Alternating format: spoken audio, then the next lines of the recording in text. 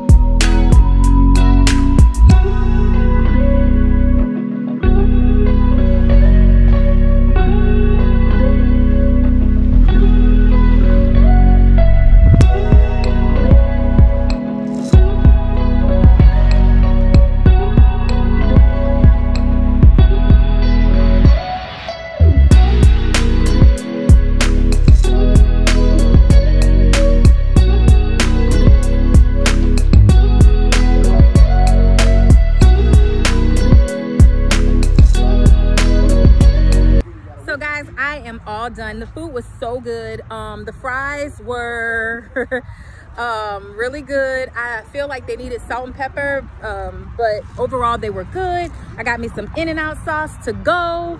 Um, yeah, so this was a good experience. The food was really good. Probably gonna come back again tonight.